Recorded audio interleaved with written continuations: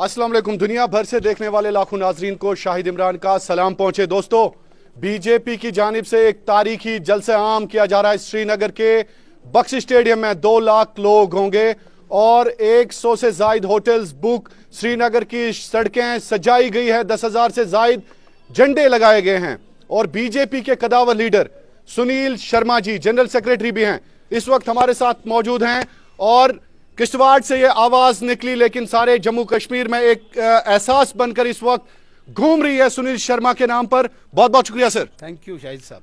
सुनील शर्मा जी सबसे पहले ये बता दीजिए क्या हाल है बीजेपी के जम्मू कश्मीर में? हाल तो मेरे से ज़्यादा आप जानते हैं। हालाँकि कश्मीर क्राउन ने एक सर्वे की और अनबाइस्ड सर्वे लगी। मुझे तब तजुब हुआ जब मुझे बहुत ही बड़ी जगह से कॉल आई अच्छा। कि ये शाहिद इमरान कौन है? मैंने अच्छा, नाम लेके बताया गया। yes, मैंने कहा क्या हुआ? कहते हैं कि मैं एक वीडियो देख रहा था जिसमें शाहिद इमरान कश्मीर क्राउन एक सर्वे कर रहा है और उसमें लोग बीजेपी के लिए बोल रहे हैं। जी। तो और मैं खुद हैरान हो गया। सुनील जी ये कुपवारा की बात आप कर रहे हैं कुपवारा नहीं पता मैंने कुपवारा और बारामूला में अवामी अदालत मैंने की थी। मैंने एक आम इंसान से पूछा जनाब क्या आपने मुझे कहा बीजेपी का हाल क्या है? तो मुझसे बेहतर आप समझते हैं जब कुपवाड़ा के आखिरी कोने में लोग भारतीय जनता पार्टी का नाम ले तो ये बिल्कुल सिद्ध हो जाता है कि भारतीय जनता पार्टी के प्रति कश्मीर की जनता ने अपेक्षाएँ रखी हैं आकांक्षाएँ बांधी है और नरेंद्र मोदी जी से उम्मीदें रखी है। तो मुझे पूरी उम्मीद है कि आने वाले 2024 में भारतीय जनता पार्टी की सरकार आएगी जम्मू से भी और कश्मीर में भी कमल खिलेगा। सुनील शर्मा जी आप बहुत कदावर देता है इसमें कोई शक नहीं है जम्मू कश्मीर में इस वक्त। और मरकजी सरकार की जानब से अगर हम बात करें तो एतमाद है आप पे एतकाद है आप पे। ये जम्मू कश्मीर के लोगों को आप बता दीजिए आज ये इलेक्शंस कब होने वाले हैं। और ये कश्मीर क्राउन पे आप बता रहे हैं कश्मीर क्राउन पे। शाहिद साहब आपके सवालों में आदमी बड़ा फंस जाता है। मैं इसीलिए दूर ही रहता हूँ। दो तीन बातें मैं स्पष्ट करना चाहूँगा। मैंने पहले ही सांकेतिक बता दिया कि 2024 में भारतीय जनता पार्टी की सरकार जम्मू कश्मीर में होगी। होगी।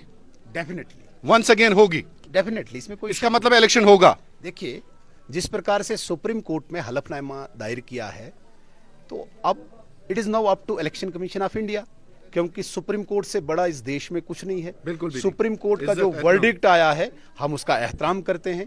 भारतीय जनता पार्टी भी एहतराम करती है। तो हम सुप्रीम कोर्ट के उस वर्डिक्ट पे खड़े हैं कि 2024 में चुनाव होंगे सितंबर से पहले होंगे और भारतीय जनता पार्टी की सरकार होगी। ये तो बड़ी खबर है सर। नहीं मैं नहीं दे रहा हूँ सुप्रीम कोर्ट का वर्डिक्ट में सुना रहा हूँ। अच्छा। सर अब मोदी जी का जलसे आम जलसे आम कहते हैं कि हर डिस्ट्रिक्ट से पंद्रह हज़ार लोग ये तो दो लाख लोगों की भीड़ सर कैसे संभालेंगे आप? शाहिद साहब मैं चूँकि इस रैली को मैं देख रहा हूँ यहाँ पे पिछले पाँच सात, दस दिन से मैं यहीं पे बैठा हुआ हूँ। आप यकीन नहीं करेंगे, इस वक्त मुझे डिस्ट्रिक्ट प्रेसिडेंट्स के लिए फ़ोन उठाना मुश्किल हो गया है। लोग जगह जगह पे खड़े हैं, हमें यहाँ पे गाड़ियाँ चाहिए। गाड़ियाँ ख़त्म हो रही है। मैंने डिस्ट्रिक्ट एडमिनिस्ट्रेशन से बात की। गाड़ियाँ ख़त्म हो चुकी है। लोग सड़कों पर खड़े हैं। अभी यहाँ पर, यहाँ इस कश्मीर में तीन हज़ार लोग आज ही पहुँच गए, इसी वक्त पहुँच गए। पगड़ियाँ लगा लगा के अलग अलग पोशाक लगा के मोदी जी का स्वागत करना चाहते ये कहीं न कहीं मैंने कहा कि ये ऐतिहासिक रैली होगी। 1947 से जब से भारत स्वतंत्र हुआ है, अनेकों प्रधानमंत्री कश्मीर में आए होंगे।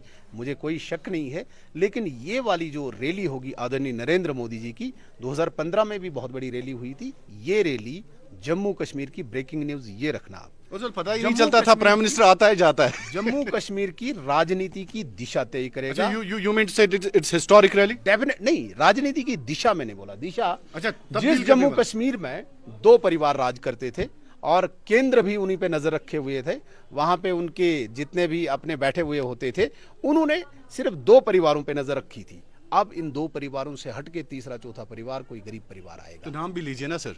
नहीं वो तो मेरे हाथ में नहीं है लेकिन ये ज़रूर कहूँगा बड़े वसूख से करूँगा बड़ी ज़िम्मेदारी और मजबूती के साथ कहूँगा कि इन दो परिवारों से हट के तीसरा परिवार कोई होगा जिसने गुर्बत देखी होगी जिसने यहाँ पे जुल्म देखा होगा और उन जुल्म सहे हुए लोगों की आवाज़ उन गरीबों की आवाज़ उस परिवार का उस खानदान का कोई नौजवान होगा। सुनील शर्मा जी आप भी एक ऐसी फैमिली से आते हैं आपने भी ज़िंदगी में बहुत उतार चढ़ाव देखे हैं। और किश्तवाड़ चिनाब वैली से आप आते हैं। लोग आपकी इज़्ज़त करते हैं वहाँ पे भी श्रीनगर के लाल चौक में भी इज़्ज़त करें क्योंकि आप एक डाउन टू अर्थ इंसान हैं। तो कैसे देखते हैं आप जम्मू कश्मीर के आने वाले कल को? हमने टर्माइल देखा है। बिल्कुल। और मैं जिस क्षेत्र से आया हूँ हमने भी उसको साहब मैंने गोलियाँ भी खाई है। शायद ये आपको नहीं पता होगा मेरे जिस्म। हाँ। तो हमने वो टर्माइल देखा है।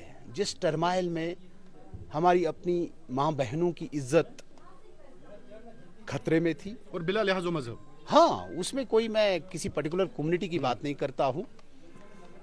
उस टर्माइल को देखते देखते हमारे अंदर एक आशा एक उम्मीद थी कि कब वो दिन आएगा जब यहाँ पे शांतिमय माहौल होगा शांतिपूर्ण माहौल होगा। किसी माँ को अपनी बेटे की लाश पे बिलखते न देखें हम। किसी बहन को रक्षाबंधन के दिन वो थाली सजा के इंतज़ार न करना पड़े।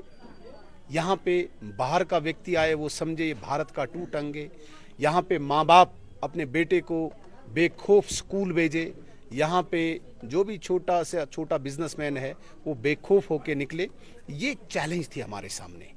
तो कहीं न कहीं इस चैलेंज को अचीव किया, लेकिन शाहिद साहब, अब बहुत बड़ी चैलेंज आने वाली राजनीति के लिए है कि जिस प्रकार से गुर्बत जिस प्रकार से अनएम्प्लॉयमेंट और अनएम्प्लॉयड लोग इंतज़ार में हैं कि कोई नई सरकार आके नए एवेन्यूज़ दे, क्योंकि हमारे सामने law and order terrorism separatism की चैलेंज के बाद अनएम्प्लॉयमेंट की चैलेंज यहाँ पे रोज़गार की चैलेंज तो फार्मर्स के लिए चैलेंज तो इन चैलेंजेस को नई राजनीति ने नई सरकार ने मुझे लगता है कि कहीं ना कहीं ये आ, इनका अजाला करना होगा इनका हल करना होगा। और नरेंद्र मोदी जी ने जिस प्रकार से योजनाएँ बनाई हुई है हमें बड़ी दिक्कत है कि जम्मू कश्मीर में इस वक्त सैलरी के लिए भी हमारे पास इनकम नहीं है। हमने कोई इनकम यहाँ पे जनरेट नहीं की है। सिर्फ़ यहाँ के लोगों ने यहाँ के वो लोग वो खानदान जिन्होंने दिल्ली को गुमराह किया पैसा लाया खुद डकारे यहाँ से लेके लंदन तक हवाई सफ़र में सब कुछ ऐशो आराम किया यहाँ पे इनकम जनरेट नहीं की यहाँ पे इतने रिसोर्सेज हैं जिनको हम कन्वर्ट कर सकते थे और यहाँ के नौजवानों को रोज़गार दे सकते थे यहाँ की आम जनता को हम फैसिलिटीज़ दे सकते थे उससे हमने आ, किनारा रखा अपनी ऐश आराम के लिए अपनी ज़िंदगी की मतलब जिसे हम कहेंगे शाही ज़िंदगी के लिए उस टाइम को निकाला तो कहीं ना कहीं ये चैलेंज नई सरकार के लिए होगी, भारतीय जनता पार्टी की सरकार के लिए होगी कि यहाँ पे इनकम जनरेट हो, यहाँ पे नौजवानों को रोज़गार मिले, यहाँ पे जो चैलेंजेस अभी अचीव किए हैं, उसको मेंटेन रखना लॉ एंड ऑर्डर को मेंटेन रखना, ये नई सरकार की चैलेंज होगी और ये केवल और केवल भारतीय जनता पार्टी से ही उम्मीद बांधी हुई है। श्री शर्मा जी, अच्छी कश्मीरी के साथ साथ अच्छी उर्दू भी बोल लेते हैं आप। डेफिनेटली मैं उर्दू का ही स्टूडेंट हूँ। अच्छा। मैंने उर्दू ही पढ़ा है और कोशुर छुस जानन ना कशु जुदी हासिल कर रहा डोगरी छुस करन पंजाब छुस करन तो मैंने उर्दू ही पढ़ा है। मैं उर्दू स्टूडेंट हूँ और मैट्रिक तक तो उर्दू ही पढ़ा है। उसके बाद तो नॉन मेडिकल सब्जेक्ट था। बट उर्दू ही पढ़ा है मैंने।